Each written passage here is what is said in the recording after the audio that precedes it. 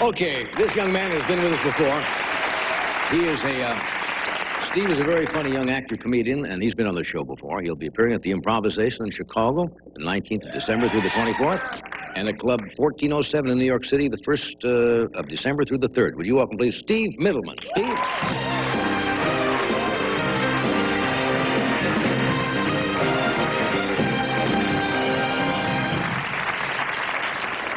Thank you very much. How are you? Thank you. I've never looked this good before in my life. Actually, I don't even look this good now. It's nice to be here. I was just back east. I'm from New York originally. Go Mets. I went to some kind of reunion, um, old neighborhood reunion. Everybody there, I realized, call me Mittleman by my last name. And then I realized my whole life, people call me Mittleman. Even my parents call me Mittleman. Dinner, Mittleman. I was like a puppy, you know. I noticed there are last name guys and first name guys. Last name guys, Bob, Ted Al. And there's last name guys like Manson, Gaddafi. Picasso's a last name guy, right? He's probably picked last in sports like I was. Yeah, I'll take Picasso. I always get stuck with Picasso. Picasso, you don't have to play, just sketch the game, okay? And don't put both my eyes in the same side of my head again. You know, when I was born, my father went to the maternity ward. He asked the nurse, which one's my son? She said, oh, you mean Mittleman? and there I was wearing this suit. I was a hit baby. I'm from a middle-class Jewish family. I went to Hebrew school, a very strict Hebrew school. We had nuns.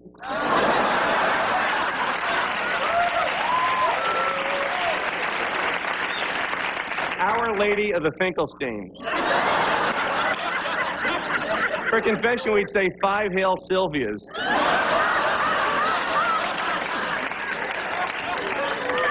You know what makes kosher meats kosher? They make the animals feel so guilty they die.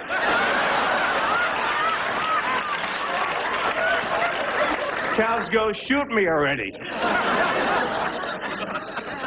Like most Jewish men, my main goal is to be mistaken for Italian.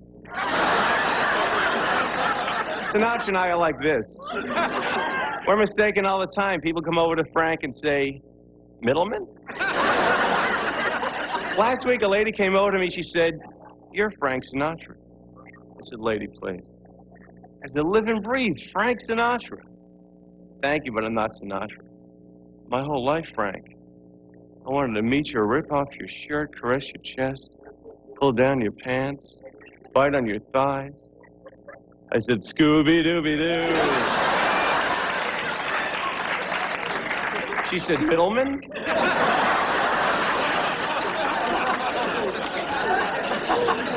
My brother-in-law's Italian. He's got one of those great Italian names with all the vowels. His name's Vinny A-E-I-O-U-O.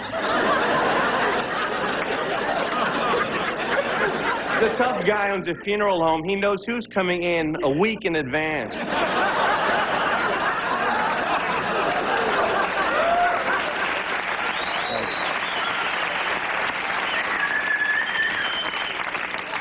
I told him I was going to be on the show. He said, break a leg in three places. He's a macho guy. He did one of those macho things. He shaved his head. Looked great. I did it. I looked like a giant thumb. Cars would stop. They thought I was hitching. I went cross country. I didn't even want to go.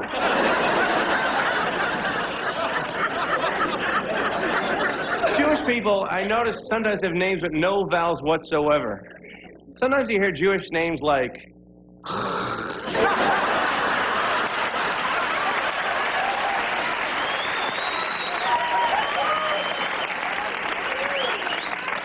My mother goes, You know the hookers? no, Mom, we never met. Mrs. used to babysit me. Nah. huh? Oh, don't you know, they, they used to live next door to the family. How do you spell that? C-H-C-H-C-H? Yeah, how'd you guess? I saw your personalized license plate. Why don't you buy a vowel already? You said, go on Wheel of Fortune, Vanna, give him some vowels. So, you know what I did recently? I went to this Italian wedding. It was so gorgeous. I was so moved by the artwork and the stained glass windows, I, I went into confession. And I, I said, Forgive me, Father, for I've sinned. Actually, I have been to confession in uh, 30 years. In fact, to tell you the truth, I'm Jewish. He said, Mittleman?